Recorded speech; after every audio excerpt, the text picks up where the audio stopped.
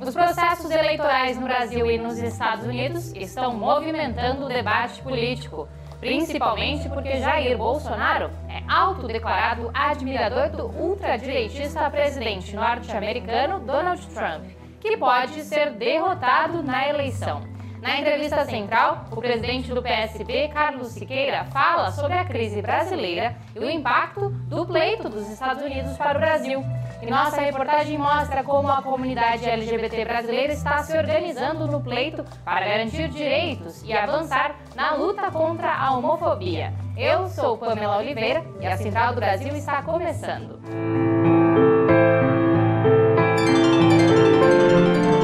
Central do Brasil.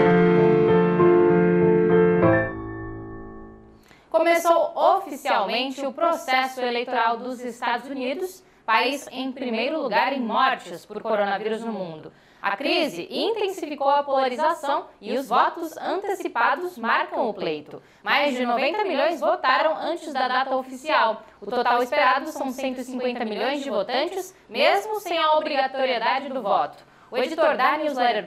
Miguel Stede, analisa os impactos das eleições dos Estados Unidos para a política internacional brasileira. Embarque imediato.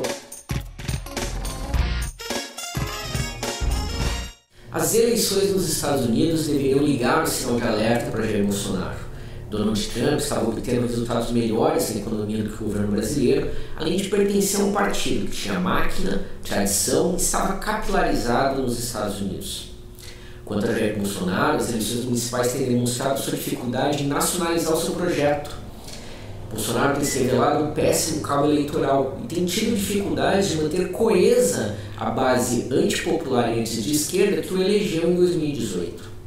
Mas principalmente, Bolsonaro tem dificuldades na economia. Mesmo tendo sobrevivido à crise da Covid-19 e às ameaças de impeachment, Bolsonaro não conseguiu criar musculatura na economia do país em 2020 seguindo a cartilha ultraliberal para eles estarem despreparados para enfrentar a crise econômica e social que deve se acentuar no próximo ano. Mais do que isso, Bolsonaro não sabe sequer quem estará no comando da economia, já que até o mercado financeiro parece ter abandonado Paulo Guedes. É nesse contexto, sem projeto político, apenas um projeto pessoal de reeleição e sem ter um projeto econômico para enfrentar essa tormenta, que Bolsonaro pode, depois de dois anos de, da sua eleição, estar entrando no seu inferno astral, sem forças para resistir até 2022. No enfrentamento da crise, as centrais sindicais estão unidas para reivindicar a manutenção dos 600 reais do auxílio emergencial. Os sindicatos exigem também que seja derrubado o veto de Bolsonaro sobre a prorrogação da desoneração na folha de pagamento. Se mantido o veto, um milhão e meio de trabalhadores podem ser prejudicados. Quem conta mais é Afonso Bezerra. Nacional. A pressão das centrais sindicais é pela manutenção dos 600 reais em 2021. O governo, que já reduziu pela metade o auxílio, diz que não tem condições de continuar transferindo o valor para os beneficiários. Sem votação, a MP perde validade no final do ano e deixará sem renda mais de 60 milhões de brasileiros que hoje dependem do auxílio emergencial. Com atos presenciais e online, nesta terça-feira, dia 3, as centrais fizeram campanha pela manutenção do auxílio. Ricardo Patá, da União Geral dos Trabalhadores, analisa que se não houver a manutenção dos 600 reais, a previsão é de uma grave crise social no país. E se nós não tivermos aí uma possibilidade de manutenção uh, de uma situação menos precária que a que estamos vivendo hoje, em janeiro, fevereiro, nós podemos estar justamente com o caos, com a violência, e é o que nos preocupa. As centrais também se mobilizam contra o veto do presidente Bolsonaro à continuidade da desoneração da folha de pagamento. Os trabalhadores defendem a medida, desde que haja manutenção dos empregos.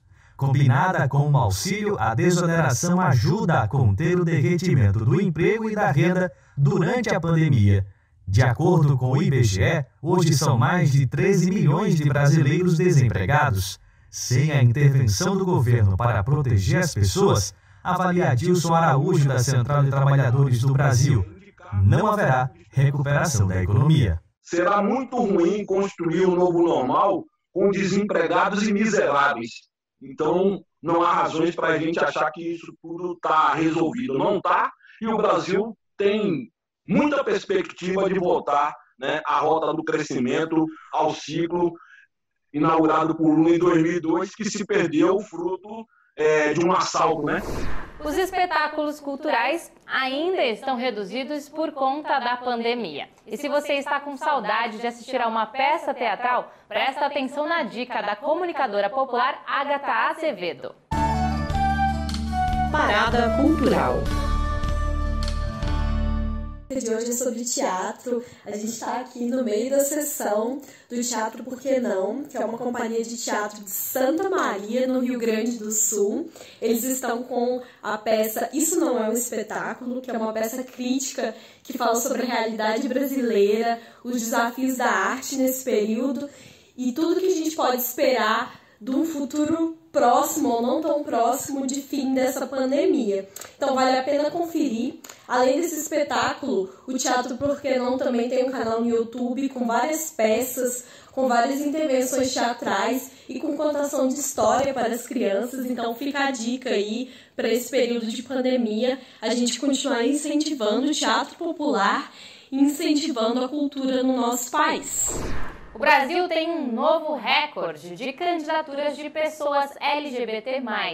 A conquista é um passo na direção da representatividade e do reconhecimento das diferentes necessidades dessa população. O próximo passo é eleger mais pessoas gays, lésbicas, trans e bissexuais para incidir na política institucional. Vamos acompanhar a reportagem de Nayata Wani. Trilhos do Brasil.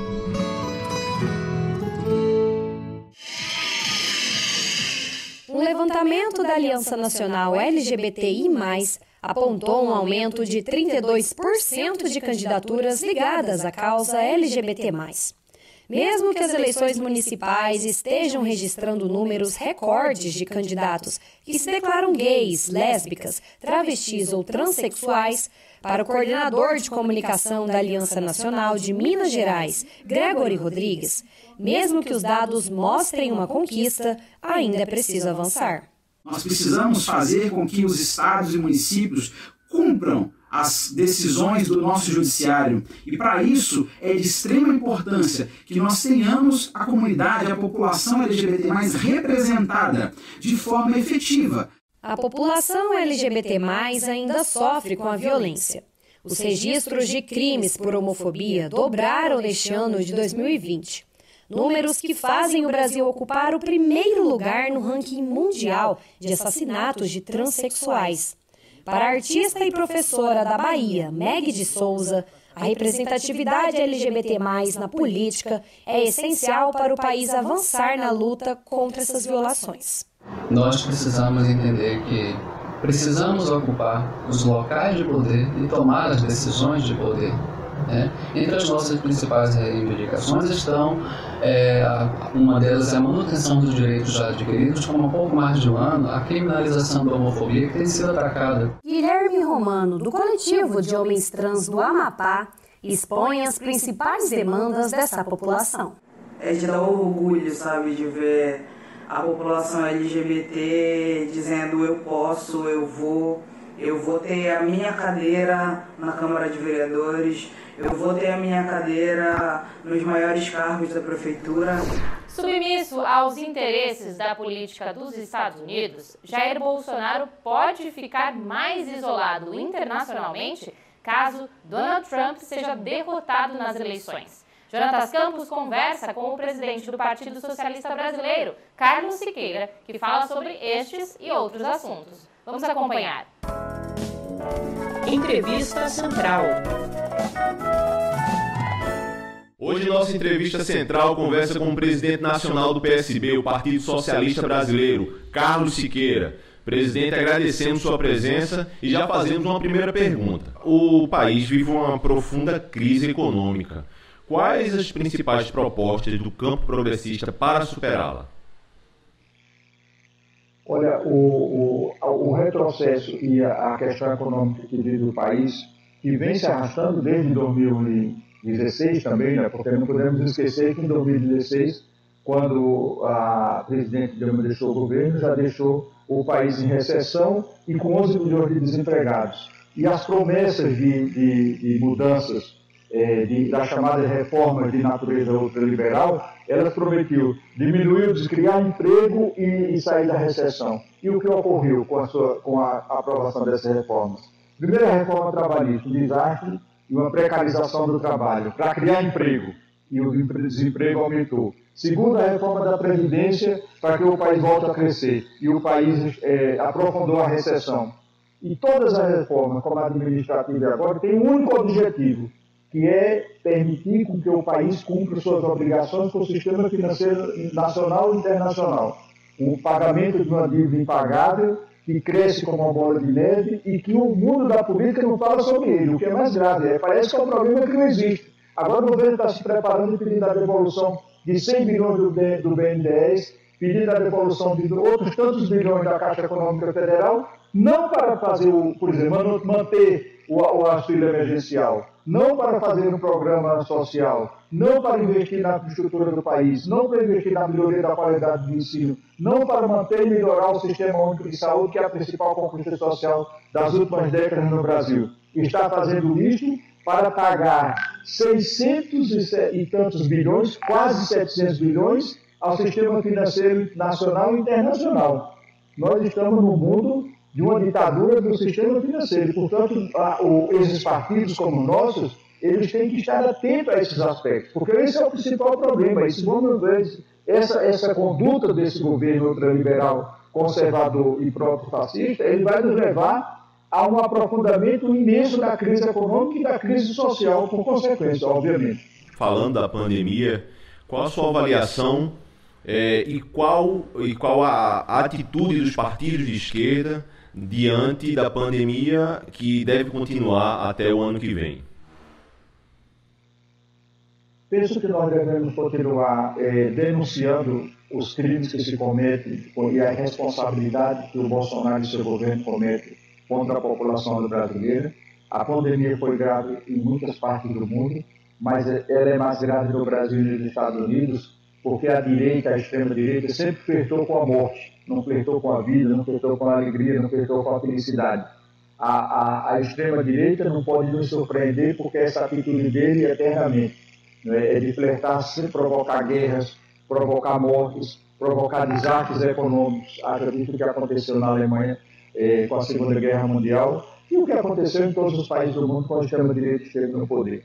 De maneira que o, o a, a nosso papel hoje, como, como oposição ao governo Jair Bolsonaro, é denunciar firmemente, é utilizar os fóruns internacionais para isso, é utilizar o Supremo, é, é, é se valer do Supremo Tribunal Federal, como tem como feito, como o PSB e também outros partidos de oposição têm feito individualmente ou conjuntamente, para garantir que o retrocesso não se aprofunde e que os direitos da população possam prevalecer sobre a visão desumana eh, que tem o governo do senhor Jair Bolsonaro. Gostaria de falar das eleições dos Estados Unidos, uma possível derrota do presidente Donald Trump pode atrapalhar os planos do governo Bolsonaro e da direita que se organiza em torno dele?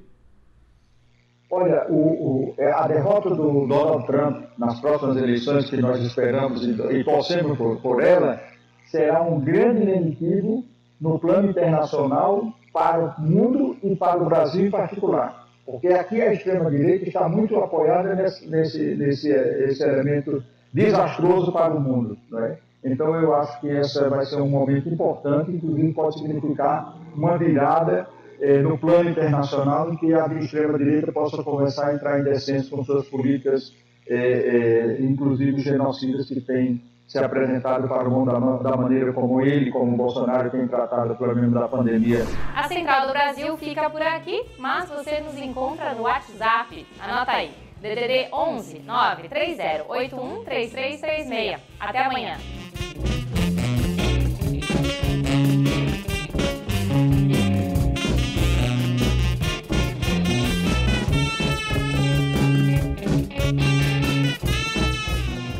Central do Brasil, a rede de comunicação dos movimentos populares.